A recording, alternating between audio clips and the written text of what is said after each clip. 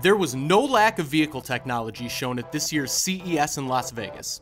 From foldable e bikes to a concept car from Sony to Ram's first all electric pickup, the 2023 show was a must see. Here are some of the highlights from this year's Consumer Electronics Show. The Chrysler Synthesis Cockpit, as auto enthusiasts, we get used to seeing vehicle exteriors teased endlessly, while interiors often remain under wraps until the very last second. Once a year, CES happens, and our focus shifts briefly to glimpses of arguably the single most important part of a car for most drivers the many touchpoints between man and machine. Chrysler was among those offering in person demonstrations of its vision for future tech the Synthesis Cockpit. Chrysler says it will be the standard bearer for the company's forthcoming AI based technologies that can both adapt to driver preferences and automate certain functions, up to and including driving. Chrysler is calling it advanced technology for real life and says it will create smooth, efficient, and connected experiences between the customer and the vehicle. The Icoma Tatamal Bike Icoma's Tatamal bike goes from a suitcase-sized square to a tiny electric motorcycle in a few seconds. Charge it for 3 hours and it'll zip you 18 miles or so. The price tag is $4,000 and the bike has a 25 mile per hour top speed. Overall, the Tatamal seems a little unsure of what it's for or who needs one.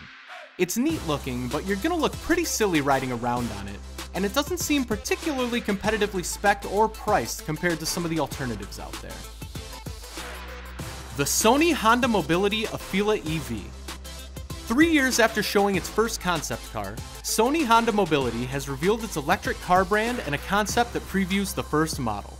The all-wheel drive concept car, bearing no other names besides the Afeela brand, looks fairly different from the original Sony concepts, other than also being a sedan-like vehicle with a satin gray paint. The shape is extremely clean and minimalist, with as few creases, curves, and lines as possible. The exterior does have a couple unique features though. Most notably is the media bar at the front between the actual headlight units. It's a screen that can display all kinds of information and even be personalized. The interior is about as minimalist as the exterior, but with the ever more popular full width bank of screens, including ones for the side mirrors. The rear seats have individual screens too. No details on the battery or the motors were given. The BMW iVision D. This is the BMW iVision D concept, a midsize sedan introduced this year at CES. D is an acronym for Digital Emotional Experience, but it also serves as the human-like name for the supposedly self-aware talking car. BMW will redesign its whole lineup over the next three years, and the iVision D is a glimpse of what the future will look like. BMW's design chief said the automaker will be simplifying the visual language of its current lineup, and so quickly that BMW's entire range will be revamped in the next three years. It's hard to tell if that's good news. Also showcased was BMW's new e-ink technology. Up to 32 colors can be displayed on 240 e-ink segments, each segment individually controlled. With e-ink, you wouldn't have to worry about the color you wanted not being available when you purchase your vehicle. Or you could change the car's color depending on who's driving. The Volkswagen ID7 concept. Volkswagen is again preparing to expand its range of ID branded EVs. The next addition to the family is a battery powered sedan called ID7 due to arrive in the United States in 2024.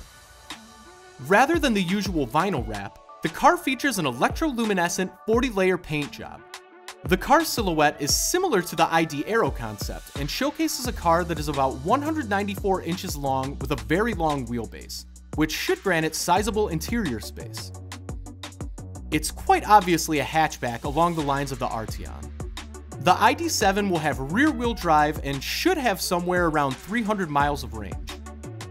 Interior-wise, the digital instrument cluster is notably embedded into the dashboard rather than installed on the steering column, and Volkswagen pledged to offer a long list of tech features such as a reworked infotainment system displayed on a 15-inch touchscreen.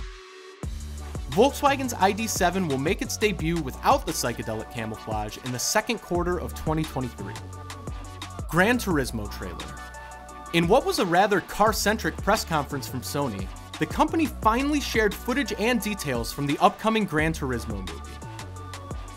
The trailer is a behind the scenes look at the film with some of the basic details of the plot, but what the trailer focuses on mostly is the filming of the driving, and it looks excellent.